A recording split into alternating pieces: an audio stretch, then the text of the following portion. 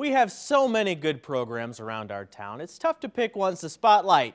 But when it comes to talent and winning for the boys and girls, there may not be a more successful school this year than John Burroughs.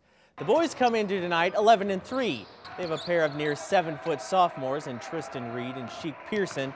Colleges will be calling on them for three years. Pee Wee Leonard's squad is legit. We know the Burroughs girls are legit. They won it all in 2022 when this senior class, led by Gonzaga-bound Allie Turner and elite scorer Monet Witherspoon, were just sophomores.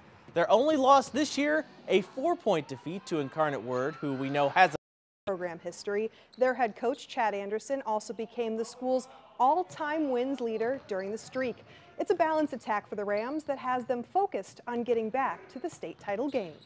Yeah, I think this is probably one of the more balanced teams I've had. I mean, we have, you know, seven or eight kids that can go off and get 15 or 20 a night. If Sam's not going to hit a three like Dwayne's would get a dunk, like it's just like everybody has their own role and like their way to like make the game momentum change.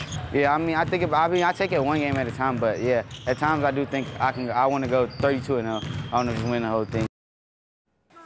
We love to spotlight high school athletes who go on to do great things. Frederick Moore certainly qualifies.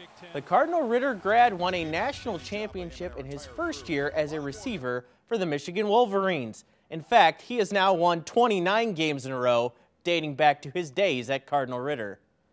It sounds great just coming into college, winning my freshman year. I know I came short in high school, my first freshman year, supposed to win, but coming into college, started off on a great foot. Playing for Coach Harbaugh, he's definitely uh, coach for the players. So he does everything. He do everything he can do to put you in the best position. So I feel as though I really love Coach Harbaugh. And he meant a lot to me, giving me the opportunity to play at University of Michigan. Up next.